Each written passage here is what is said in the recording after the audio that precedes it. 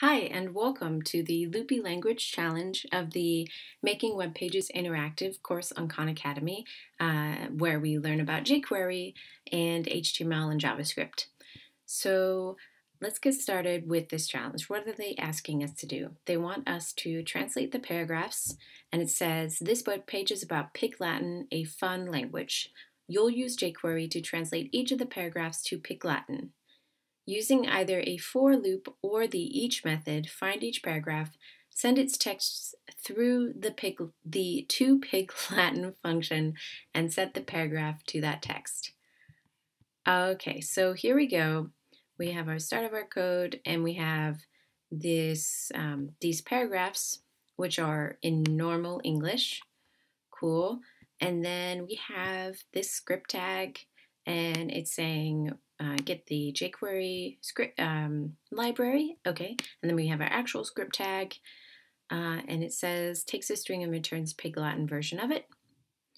All right, so they wrote this function for us already. Honestly, I don't really get this function, but I don't think we need to for this challenge. Um, I guess we're saying replace some of the strings. Um, mm, with these different letters and this A at the end and changing them to lowercase. Something like that. I'm not super familiar with, with what they're doing here, but luckily they already did it for us, so we're good. All right, so this is where we jump in. It says, iterate through each paragraph, call the pig Latin, call the to pig Latin function on it. All right, and they already gave us this paragraphs jQuery um, variable, and it has each paragraph in it. Okay, so now Let's start with a for loop since that is what I'm most familiar with. It says we can either use the for loop or the each method. So for, let's start with that. Um, all right, so let's initialize our for loop, whoops, with variable i gets zero, and then while i is less than the length of paragraphs, dot length, which is now we're treating it like an array. Um, then we're going to say i plus plus, so increase i by 1 each time we go through this loop. Cool. And then we have our brackets. All right, so inside of our for loop, what are we going to say? So we want to uh, store each one of the uh, items in our array in an element. So I'm going to say element gets paragraphs I. Okay, so let's see. So I'm saying each ith element, each ith item in this paragraphs array, and I'm using bracket notations to show that um, that is our element. Oh, I need that to be a variable. Cool. But we have an issue because this variable is a DOM element and we are about to call jQuery methods on it. So just like she did in the last video, uh, just like Pamela did, we have to change this to jQuery. So right now it is a DOM element and we need it to be a jQuery um, object. So hopefully I said that right. so variable paragraph gets, oops, and we need, I need to put a dollar sign to indicate that this is a jQuery um, object.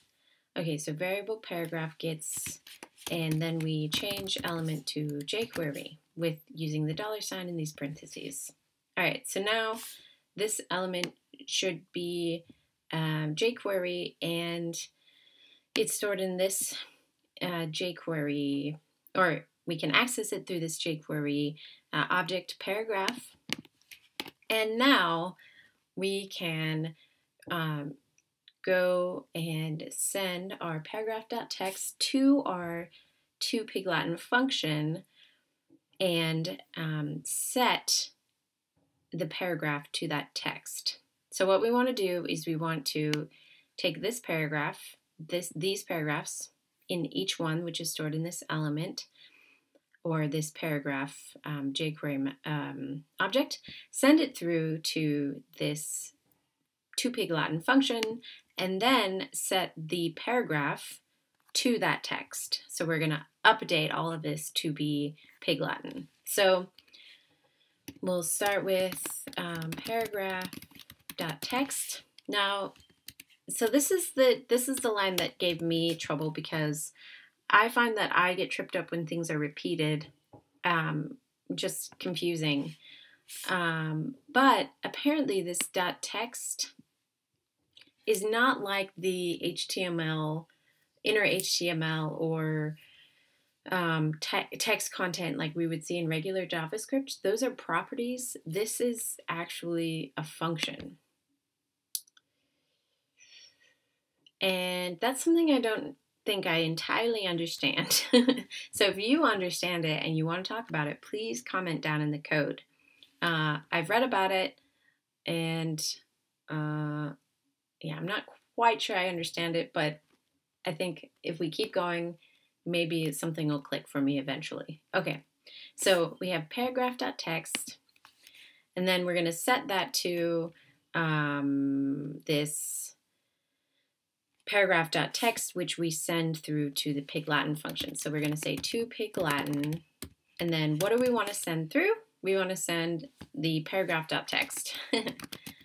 um, and we're going to leave the parentheses of this function empty because basically we're just calling that we just want to grab this text. Um, we don't want to change it.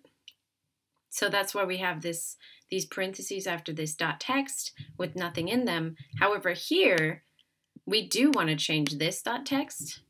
So that's why we have something in these parentheses. So we're saying, okay, get this paragraph dot text, send it to the pig Latin function, and then set it to paragraph dot text. Um, cool.